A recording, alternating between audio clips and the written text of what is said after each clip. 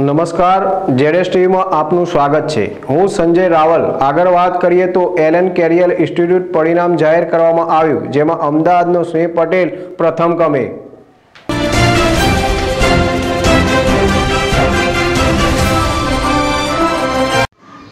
અમદાવાદ ચૌદ જૂન બે હજાર ઓગણીસ ઇન્ડિયન ઇન્સ્ટિટ્યૂટ ઓફ ટેકનોલોજી રૂરકીએ શુક્રવારે સવારે દસ વાગે સંયુક્ત પ્રવેશ પરીક્ષા જી એડવાન્સ બે હજાર ઓગણીસના પરિણામોની જાહેરાત કરવામાં આવી હતી, જેમાં એલએન કેરિયર ઇન્સ્ટિટ્યૂટના કાર્તિય ગુપ્તાએ all India rank first rank હાંસલ કરીને દેશમાં એલએનનું નામ રોશન કર્યું છે.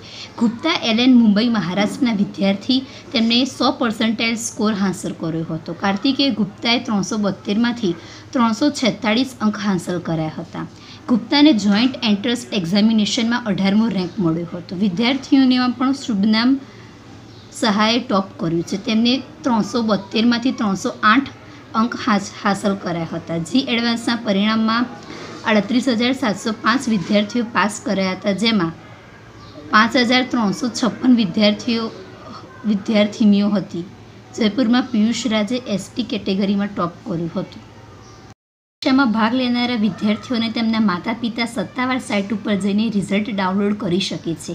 એલેન કેરે ઇન્સ્ટિટ્યૂટના ડાયરેક્ટર બ્રિજેશ માહેશ્વરીએ જણાવ્યું હતું કે ગુપ્તાએ સારા માર્ક્સ હાંસલ કરીને એલેનનું નામ રોશન કર્યું છે. તેમણે ઉમેર્યું હતું કે આ પહેલાં એલેનના વિદ્યાર્થીઓ જે મેઇન નીટ, ઓલ એમ્પેર્ડ એમ્સના પરિણામોમાં ઓલ ઇન્ડિયા સ્તરે પ્રથમ રેન્ક હાંસલ કરીને એલેનને ગર્વ અપાવ્યું હતું. આજે જાહેર થયેલા જી એડવાન્સના પરિણામોમાં પણ વિદ્યાર્થીઓએ ઉત્કૃષ્ટ પ્રદર્શન કર્યું હતું. માહેશ્વરીએ જણાવ્યું હતું કે દેશભરમાં એલેન કેરિયર ઇન્સ્ટિટ્યૂટના વિદ્યાર્થીઓએ સારા માર્ક્સ હાંસલ કર્યા હતા અને ઇન્સ્ટિટ્યૂટમાં પણ ઉજવણીનો માહોલ જોવા મળ્યો હતો. તદુપરાંત આઈટીઆઈના સાત ત્રણ ઝોન ઉપરના એલેન, એલેનના હતા. આમાં આઈટીઆઈ મુજબ ઝોનમાં કાર્તિય ગુપ્તા, ખડગપુર ઝોનમાં ઉટી પડે અનિકેત અને આઈટીઆઈના ઉર્કીય ઝોનમાં જયેશ સિંગલાએ ટોપ કર્યું છે. એલેન કેરિયર ઇન્સ્ટિટ્યૂટના કાર્તિય બે વર્ષથી સ્ટુડન્ટ છે. એલેન ક્લાસરૂમ પ્રોગ્રામમાંથી ત્રીજી વાર વિદ્યાર્થીએ પ્રથમ રેન્ક મેળવ્યો છે. આ પહેલાં એલેન ક્લાસરૂમના વિદ્યાર્થી ચિત્રાંગ મુર્દિયાએ વર્ષ બે હજાર ચૌદમાં અને અમન બંસલે વર્ષ બે હજાર સોળમાં ઓલ ઇન્ડિયા ટોપ કર્યું હતું. આ વર્ષે પણ એલેન માટે પરિણામે, પરિણામો ઉત્સાહજનક રહ્યા છે.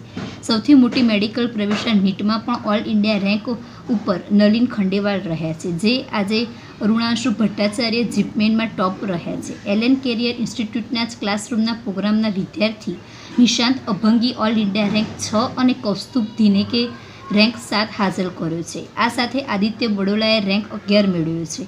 એલેનના સબિત બહેરાએ એસસી કેટેગરીમાં રેન્ક ફર્સ્ટ મેળવ્યું હતું. કિંજલ શિકારી જેડેસ ટીવી, અમદાવાદ. જોઈન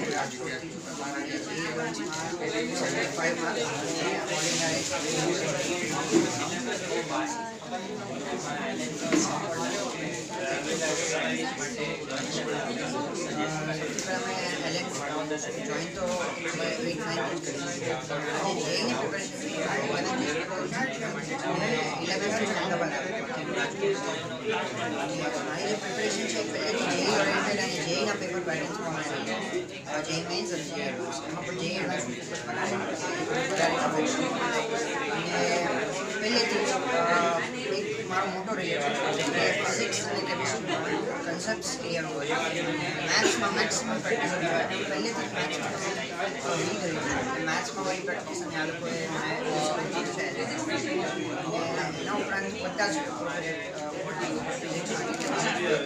મેથ્સ અને કેમિસ્ટ્રીમાં પણ ત્રણેય ઓર્ગેનિક ઇનઓર્ગેનિક અને ફિઝિકલ ત્રણેયમાં હેલ્પ કરી છે અને ઇલેવન્થ પછી ટ્વેલ્થ ટ્વેલ્થમાં થોડું શેડ્યુલ હેક્ટિક થઈ જાય બોર્ડ્સ પણ હેલ્પ કરી દો ખાલી પકડવાનું અને આ વર્ષે આ વર્ષેથી મારે પ્રેક્ટિકલ બાકી અન્ય બાકી મારી જે મેન્સ અને એડવાન્સ ઉપર જ રહી છે અ, અને એ- એના માટે મને એને એને ખૂબ સપોર્ટ કર્યો છે અને બસ મારું એ જ કહેવાનું છે કે જે વિનિંગ ફેક્ટર છે એ જ છે જે અ, તમને જે એડવાન્સમાં હેલ્પ કરે એ છે તમારી પેપર સોલ્વિંગ પાસ્ટ યરના પેપર અને એ માહોલ અને એ પ્રેશર એ ટાઈમ કન્સેપ્ટ તો લાસ્ટમાં જેવું ટ્વેલ્થ થાય એવું કન્સેપ્ટ બધાના જ ક્લિયર હોય છે બધાને જ અ, આવડતું બધું હોય છે પણ એ જ વસ્તુ અપ્લાય કરવા તમને ટાઈમ લેવો અને એ જ પ્રેશર કન્ડિશન્સમાં જે તમે એકચ્યુઅલ એક્ઝામ જે એડવાન્સમાં ડિફિકલ્ટ ફીચર એ છે કે દર વર્ષે પેટર્ન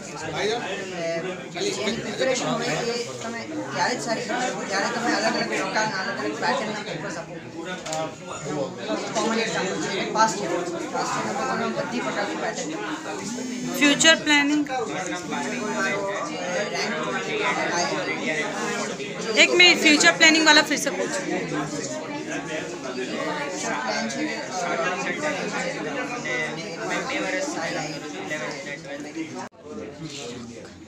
मैं Sumit Gupta Allen Ahmedabad center engineering division head करता हूँ। और मेरे साथ मेरे कलीग्स हम लोग आज जेई एडवांस 2019 के रिज़ल्ट को ब्रीफ कर रहे हैं। और जेई एडवांस 2019 का रिज़ल्ट अभी सवा पाँच बजे आया है। जितना आया है, उसके आधार पर अभी एल एन अहमदाबाद का best rank all India rank 74 Shrey Patel का है। और ऑल इंडिया रैंक में 500 तक टॉप 500 में आठ स्टूडेंट्स ने अब तक क्वालिफाई किया है। और अब तक उपलब्ध जानकारी के अनुसार टॉप 1000 के अंदर करीबन 12 स्टूडेंट्स हमारे क्वालिफाई कर चुके हैं। रिज़ल्ट अभी प्रोसेस में है। ऑल ओवर एग्ज़ाम में कितने स्टूडेंट बैठे थे और कितने रैंक के कितने स्टूडेंट ने उत्तीर्ण किए? लगभग दो लाख पैंतालीस हज़ार बच्चे जेई एडवांस के लिए एलिजिबल हुए थे जिसमें से एक लाख पैंसठ हज़ार बच्चों ने ये एग्ज़ाम दिया था। एक लाख पैंसठ हज़ार बच्चों में से थर्टी एट थाउज़ेंड जैसे स्टूडेंट्स को उन लोगों ने क्वालिफाई किया है जिसमें से साढ़े पाँच हज़ार से छः हज़ार के बीच में गर्ल कैटेगरी को क्वालिफाई किया। अहमदाबाद के कितने? एल एन अहमदाबाद के 570 स्टूडेंट टोटल एलिजिबल थे। 570 में से 456 स्टूडेंट्स ने ये एग्ज़ाम दिया। Sir all over state all over state का देखे तो कितने स्टूडेंट थे और ऑल ओवर स्टेट का क्या रिज़ल्ट होगा? इसका कोई ऑफिशियल स्टैटिस्टिक्स नहीं है पर लगभग दस हज़ार बच्चे ऐसे थे जो कि जई मेन्स क्वालिफाई करके जई एडवांस के लिए एलिजिबल हुए थे। और आप मानकर चलिए कि इसमें से करीबन 1100 से 1200 बच्चे होने चाहिए जो क्वालिफाई करेंगे फॉर जेई एडवांस गत वर्ष की कंपेयर में ये उस साल का स्टूडेंट ने कैसा परफॉर्मेंस किया है? ये जो अभी तक का रिज़ल्ट है तो। अभी तक देखिए कट ऑफ़ या परसेंटेजेस में तो कोई खास बदलाव आया नहीं है। पेपर इस बार रिलेटिवली केमिस्ट्री का देखें तो आसान था मैथ्स का पेपर थोड़ा सा लेंथी था। तो पेपर के आधार पर बच्चों ने कम स्कोर किया है। कम स्कोर पर अब की बार अच्छी रैंक्स आई हैं ऐसा मान सकते हैं कि रिज़ल्ट थोड़ा सा बेटर आया होगा कम स्कोर पर। सर एक बार ऑल ओवर का बता दीजिए ऑल ओवर इंडिया का। जी ऑल ओवर इंडिया के लेवल पर all India rank one Allen Mumbai का two year regular student Kartikeya Gupta है। एल एन कोटा का स्टूडेंट है A I R one A I R six और ए आई आर सेवन भी L N के students ने हासिल करी है। A I R six Gujarat का बच्चा निशांत अभागी, जिसने कि कोटा में जाकर अपनी पढ़ाई करी है दो साल ऑल इंडिया रैंक सिक्स हासिल करी है।